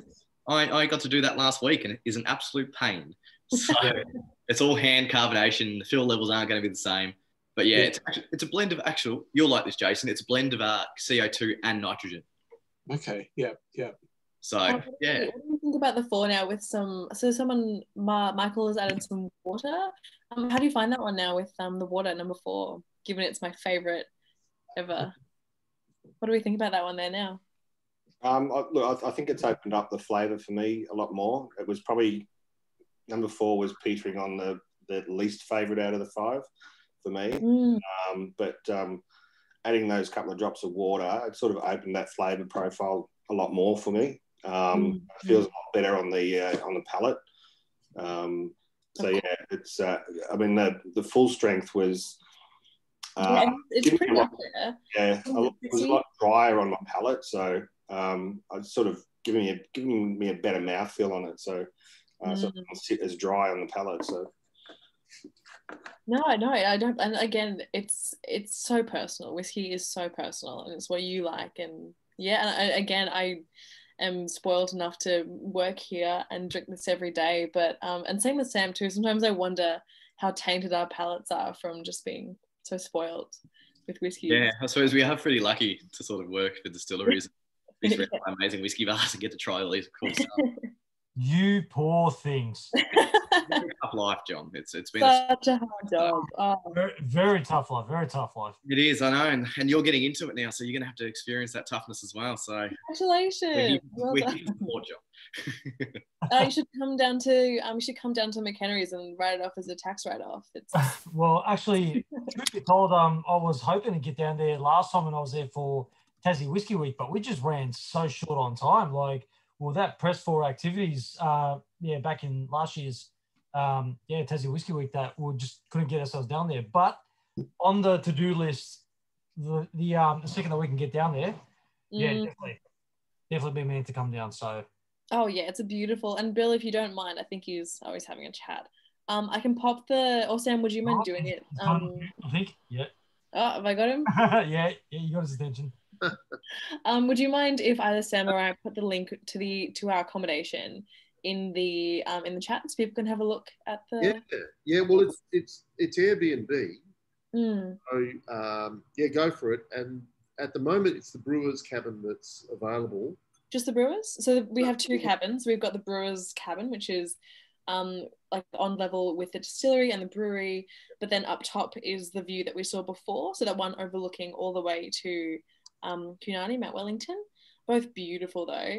Um, so we should have the the top one ready soon, hopefully. Yeah, we're just waiting for the uh, occupancy certificates from the council for that. It's Yeah. only a week or two away. Bit of red tape, Of course. But Yeah. then the, but the bottom one, um, the Brewers cabin's ready to go. Yeah. Um, will you be in Melbourne this May? Bill, will you be in Melbourne this May? Oh God. Whi- Whiskey Live. Oh, if it's on, I will. I don't think he can think that far ahead. that's the that's the challenge actually is trying to program things now because you don't know if things are going to go ahead. Mm, We committed to a whole lot of events and obviously they've been called off.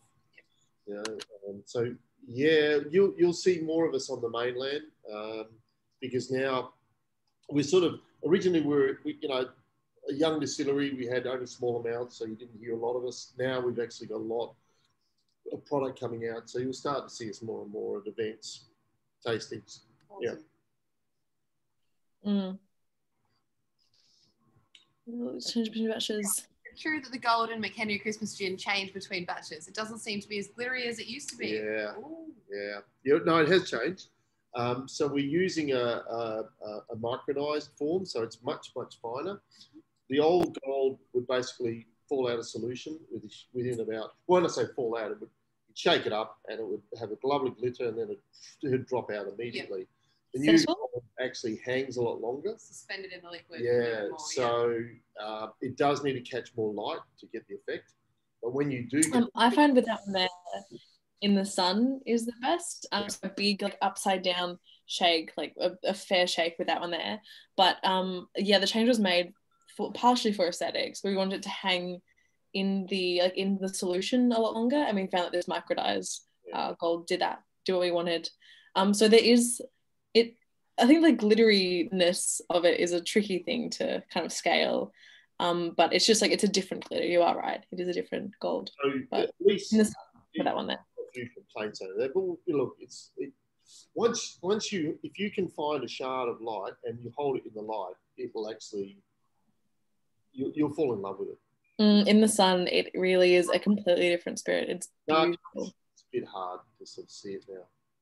I'm, Yeah. I think uh, my favorite thing always to do was just throw the phone light on and chuck it under the bottle. Mm. I still remember last year's tasting, Yeah. seeing like hardcore whiskey nerds get so excited over glittery gin. it's still one of my career highlights, I think. Like, I think Dom's Everyone left. does. Everyone loves it. Um, with the with the new one though, the phone light doesn't work as well. Unfortunately, it has to be, or it doesn't have to be, but it's. Um, I found it's his best in the natural sunlight. I know, I know Dom's jumped off, but Dom's probably one of like the most whiskey like loving people I know. And he bought so many bottles of that glittery Christmas gin. It was awesome. Is he still here? Tom's still on? no, he's jumped off. But I remember he sent some back to Canada with him when he went back to visit the family. Oh, nice. That's great. If You just have a look in the chat as well. I've popped in the Airbnb link uh, to the accommodations. That one there. Um, I was good. Thank you for the explanation. No, of course, and yeah, you're completely right. It is a different gold. So return customer, which is good. Um, the the flavor of the gin should be the exact same though. Yeah. It's the same gold, frankincense, Frankincense, fir, yeah. a little bit of clove. Um, but yeah, so the taste completely unaffected, but the gold is different. Mm. Here. Yeah, we were pickup. ultimately we were trying to do a little bit different, you know, because it's the everyone was sort of walking the same old route. Christmas pudding makes a Christmas gin, and Oh, if I see another Christmas pudding or like a gingerbread, I well, I find personally I don't drink them apart from December, and um, yeah, it's like you drink it for you know for Christmas month, and then I wouldn't touch it for the rest of the year. Um, but yeah, whereas like the Christmas gin, I much more. like, It's just it's a great little G and T drop as well. So something that can be drunk. I'm not exclusively at Christmas time, but that's just a personal. I'm. How does everyone else feel about that one there? It makes really to, to sort of uh, be on brand and one of my favorite people are to use Fe- Fever Tree elderflower tonic and uh, Mm, that yeah, is a good you've just one. been a big advocate for that. But it also makes brilliant like uh basically bougie gimlets because you get the gold circling around stuff like that. And martinis it works well too. Mm, hmm Beautiful. So I guess I'd like to actually ask Bill. This I, I know that there was a ten year old that was on the horizon, yeah, it's and there. It's there. Yeah, It's well, there. within months, you know. You, you reckon? Mm. Because I heard that there was like, you know, you weren't quite sure about. You're not going to release something that you're not 100% happy with, which I totally respect and I love that. So I was just wondering about what the future is, is looking like for that. Yeah, so it, it, you know, it's hard because every bottle that we release carries my name. Yeah. And so, um, you know, before we do, you know, any release, but certainly special releases, I want to be completely satisfied. Now, Sam will tell me, you know, this is great, fantastic. Elise, lovely. You know, Bill two will tell me, yeah, yeah, it's ready. But even though I'll get all of these people sort of lined up saying, yeah, it's good, until I'm absolutely sure, we won't let it go. which I think is like equally the best thing and the most frustrating thing about working um, here is that yeah is that he's as stubborn as he is a perfectionist in the sense that nothing gets by until Bill is like, yep, this is perfect, we can release it. Barrel, So Barrel 20 got by. Pretty happy about that one. yeah, Barrel 20 was just a bypass of B1, and B2 was like, yeah, we'll, we'll release it. So, exactly. Guys, you know, truly, I am. I, I, you know, I like the feedback I get from them all. Mm, it's sort of, you know, you have to actually deep down have a look at the core of our business and what we are. And ultimately, we're trying to create a, a legacy. Um, we're a family owned business run by myself and my wife, you know, with really great staff that, that are you know, helping us build this business. But I want to be able to leave this to my children and my children's children, etc. This is not this is not a business I want to build and spin you know, I'm not going to flip this business. It basically wants to be, I want it left to my children. So you've got this lovely lineage, you know, generation after generation McHenry. So it is important for me to think that I'm doing the right thing now for my children. Yeah. Just like we all should be doing the right thing for the planet, you know, for everyone. Um, so it is. very big picture man, Bill, which I um, I think working here is something that I've noticed throughout the years. Um, is that it's it's always big picture, um, and it's always um, well, where will we be in five years' time? Where will we be in ten years' time? Like, what will be the outcome of this? Where, yeah, which is it's just so exciting, and it, it keeps the distillery. We're always doing something. We're always busy, which is good. But mm, I'm going to put it out there as well, guys. We've got about five or six minutes left before the tasting has concluded. So, any final questions or comments, please do not be shy at this point. There's not that many of us. left. There's there's 21 of us left. So, shoot away, shoot away, guys. comments, criticisms. Which ones did you hate? Which ones did you love? we, we, we Miranda, we started to do brandy now too. So we um, we're doing all the brandy for Josef Chromy. So we're taking on a lot of their excess wine and we're Yeah. producing um, a collaboration brandy with them. Fantastic. So we've got that down. We've actually got a couple of bottle, barrels of brandy, which is I can't remember. It's five or six years. So we're still got a few years to go when we can release as an XO. All right. So we'll have some, hopefully, some nice, uh, nice Australian brandy. My gosh, I'm gonna have to rewatch this tasting and be like, this was announced, this was announced, this was announced, this was announced. That's amazing. That's amazing. Yeah. Because some of my, my favorite brandy in the world is Tasmanian brandy. It's a Sullivan's Cove XO double cask. Well, that XO double cask, what happened was originally they had, because they're big distills, 2,000 litre still. It's fun. So they gave us all the fores and feints. They didn't. So yeah, yeah. So we, we had oh we had you know five six hundred liters of fores and feints, which they couldn't Oh, distill wow. down any further Yeah. because their still was too big. So we put that through our little five hundred liter still and created brandy from that. That's so exciting. So um, so that's what currently is in our cup of Pinot barrels at the moment. So and I think that cask is Pinot as well, isn't yeah, it? yeah. Yes. So So- uh, we just had some comments here, Bill. Um, go to the whiskey Damson plum gin, wife's favorite. I completely agree. It's a great little drop. Um, with that one there though, especially with like a dry sparkling white wine to make kind of like a spritz, incredible in the summertime. Yeah. Uh, and then number four, the fifth, is all gingerbread or ginger shortbread. Very interesting. I don't think I have any of that one left to smell, but great little drop. uh, Dave, the, uh, the the Damson plum ran out for a month or two, but we we, we just bottled some today. How beautiful. 'cause we didn't have it for a minute. Mm.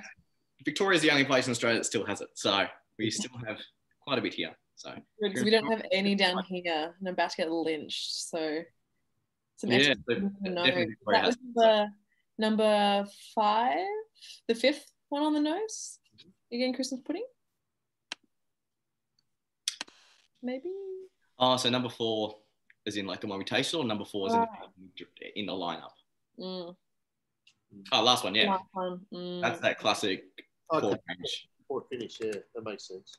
Parliament House Is gin is Henry's, yes. Um, and so in Canberra as well, so in Parliament House, um, that's where you can get our courtyard gin, which is a very saffrony gin, and the um, parliamentary, or it's the Federation gin, so all Australian natives, which is a really great little story. So um, a different Australian native from every state and territory. So this is like very bushy, very herbal, heavy gin, and um, yeah, if you can get your hands on that one, there, I highly recommend it. It's very interesting. It's very savory, but it's like very earthy, bushy. It's great. We were serving that one on the bar It was and Alement as our uh, classic gin and tonic. So Oh, if, if you, yeah, we were. Mm. I, I remember after the bushfire boilermaker appeal, McHenry was Yeah. enough to donate a pretty sure a case plus to that. And Yeah. then uh, the boilermakers didn't get sold out, so that was actually that was our house poured gin for quite a few months. And I tell you what, it was a fantastic response. People loved it. And Yeah, I was off, people were like, "What happened?" Yeah, Where is it? beautiful house call. That, that that was another career highlight to sort of work together with the bushfire reliefs, especially for Victoria. And yeah, I Mm. think I think this is probably a really good chance to say thank you to Whisky and Alement as this is the last tasting virtually for the year. I think a big credit has to go to Miranda. You've done an amazing job. I think personally, like I've been to every single one except the first one, and it has brought a little bit of normality and like structure to our weeks. And talking last night to people, it yeah, you brought a little bit of Whisky and Alement into all our homes, and that is honestly one of the yeah, I appreciate it so much. So thank you. You've done an amazing job, and yes, it's been lovely. And I think yeah, I think let's have a bit of a toast because it's been an amazing. It's been a really tough year, but in a weird way, these have been a great little bit of normality, and yeah, it's lovely. So cheers to Whisky and Alement, and a big thank you to Miranda. Cheers. Yes, to you. And also, cheers to the birthday boy, and thank you as well Mm, for your The last birthday boy. McHenry's. Mate, Thank- it was an absolute pleasure to hear you tonight with these uh, with this lineup. It was such an amazing lineup as well to finish off on. So all the best to your future endeavors, and mate, keep up the amazing work. Thank you, thank you. Yeah, it's been an absolute pleasure of a year and a half. It's yeah, sad to go, but it's the start of a new journey. So that's how I'm looking at it. Always going to be positive. Moving into a different kind of alcohol, but look, I'm always going to be around the bars. As mm. everyone knows, I love a tasting, so I'm, I'm always going to be at a tasting. So, mm. but yes, so a big thank you to everyone, and yeah, thank you for coming tonight. It's been a, it's been an absolute pleasure, and to Bill, to Elise, to everyone down there. Going to miss everyone, but starts a new chapter of Ciderman Sam, and I think I've been working on this quote all week. Any basketball fans out there, to quote the great LeBron James, I've decided to take my talents to Daylesford. So, but yeah, so yeah, it's going to be, it's really cool. And yeah, pretty keen to sort of follow the uh, McHenry story along the way. The fact, like, there's three Alpha, there's three Southern Cross Series whiskies still to go. And that was a real personal highlight to work on those. So yeah, definitely going to keep a keen eye on those. And yeah, it's going to be good. Of course, of course. And yeah, on behalf of Bill and I as well, it's been a pleasure working with you, Sam. Oh, thank you. Um, so happy birthday. Thank you for Thank organizing you. this as Thank well. you. But it's it's it'll be so exciting to have you down again, but as a punter, and you can just sit back and not work and have a bev with us. It'll be great. Exactly. It'll be nice. So yeah, very sad to go, but oh well, that's that best way to put it. That's life, and you learn, you live, and yeah, I'm been very ex- lucky to sort of manage to get a new job in the alcohol industry, and cider is another love of me. So yeah, thank you to everyone. I think the reason I do this, and I think the reason a lot of us do this, isn't because of the whiskey. It's about the people. So thank you all for coming, and thank you for all supporting not just Whisky and Alement, not just McHenry, but all these events, all Australian bars and tastings throughout COVID. Especially to all the people in Victoria. Like I know there's a this is a blatant shout out, but I know there's a few doctors in here who've been at the front line. So big thank you to all that. And to all of us in Melbourne. We've we've done it hard, but we did a bloody good job. And now we can actually go drink at a bar. So cheers and Hamish, that one's for you. So Yes. enjoy everyone. And Merry Christmas. Merry Christmas, of course. And and look, you'd like to close with a, a real public acknowledgement of what Sam's done for our business. Um, look, I'm, I'm really proud that you've, you, you're moving on into the cider industry. It's fabulous. Uh, but the passion you showed for our products, um, the commitment you had for us has just been, you know, genuinely awesome, Sam. So we'll catch up tomorrow. Um, Absolutely, yeah. I think the best for me, Great. my role officially ends as McHenry ambassador, but at heart, I'll always be Yeah. an ambassador for McHenry. So always going to be, I'll always have sloe gin around. And yeah, but definitely it's been a great ride and I've loved every minute of it. It has been an absolute pleasure. You've always been waving that McHenry flag high and proud ever since I've known you. You've been an asset to the bar, an asset to the industry. Thank you so much. And to echo Sam's sentiments, thank you so much to everyone that, that has attended, kept the bars alive this entire time. Thank you to Elise for your insight tonight, and so much to Bill for joining us here and for your insight as well. Everybody, I, I, I actually couldn't think of a better way to wrap up the year. The last virtual tasting. Happy birthday to Sam. Here, here's to 2021. Cheers, everybody. Merry Christmas. Cheers. Merry Christmas, Happy New Year. So, Bye, everyone. of course. Thank you so much for joining us. Oh, wait, we've got one more question here. One quick one, Henry. Whiskey matured in apple Apple cider cider. cask. See what Whoa. we can do. A little whiskey old little Spider-Man Sam McHenry crossover episode. What do you think, Bill? Oh, look, I'm, we'll I'm into it. I'm into it. I'm down. we'll bring back Whiskey Wednesdays and Sunday sessions and bring it back. But yeah, absolutely, always open to that. Of course. That'd be great. And thank you so much to everyone who's writing such kind comments. I, I so appreciate your patronage and I've so loved being a part of your whiskey journey. So, uh, yeah, cheers to everybody and, and thanks you again, Sam. Happy birthday. And Thank you. Everyone. We'll, we'll see you all soon. Bye. Cheers. Bye, guys. Cheers. Have a lovely evening. Bye, See ya. Bye.